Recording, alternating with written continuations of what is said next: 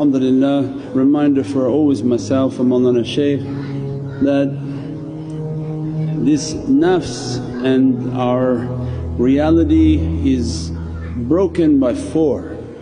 There are four enemies that are partitioning the reality of the soul in which Allah wanted for us and these are the days in which to reflect and to understand that reality and they extract these realities for their students.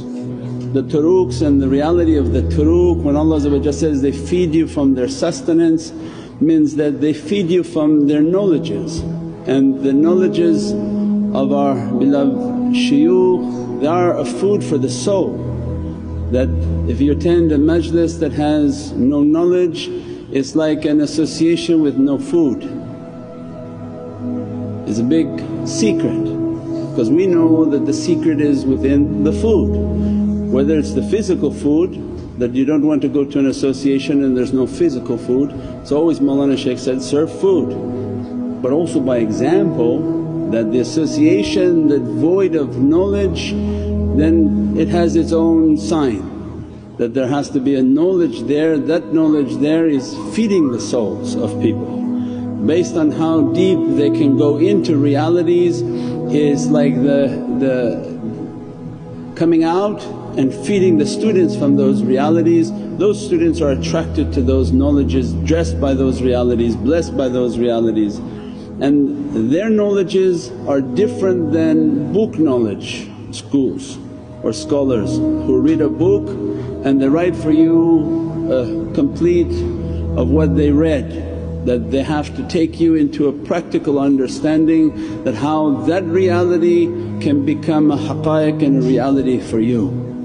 It's not just I read a book and I repeated what I read but how is it going to be implemented in your life and on your daily existence on this earth and how are you going to rushd and to, to be developed by that.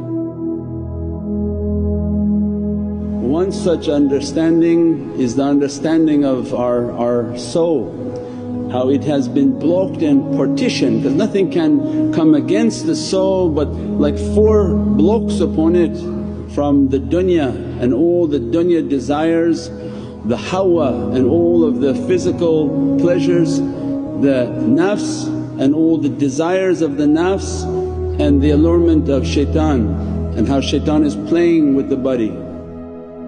Means that these four realities are blocking the soul and from awliyaullah when they extracted realities from Holy Qur'an that when Sayyidina Ibrahim was asking from Allah Ya Rabbi how do you revive the dead? And this is Khalilullah the, the dearness and nearness of Allah asking, Ya Rabbi how do you revive the dead? And Allah asks, is it that you don't believe that you're asking such a thing? No Ya Rabbi I believe but I want yaqeen, I want a certainty. And Allah gave an example to Sayyidina Ibrahim that take that bird and quarter it into four sections and put a section on each corner and when I give you permission call that bird back to your presence.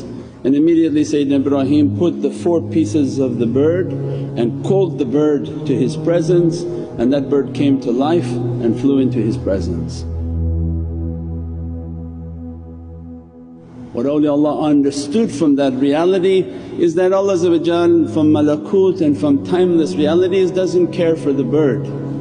But that bird is symbolic of the soul of the believer that the soul of the believer is blocked from what Allah wants for it, wants that soul to fly. I mean it's coming from malakut and coming from the heavens and is encaged in the physical world and is oppressed in the physical world.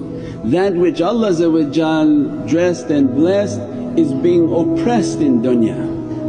And that which is the worst means the physical form and the physicality has to do with shaitan.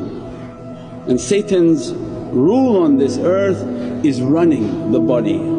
So means this angers Allah That of mine that is yours from paradise is trapped within that satanic being and all the satanic desires. So the seeker's whole path is to destroy the physicality and the grip that the physicality has upon the ruhaniyat and the spirituality of insan.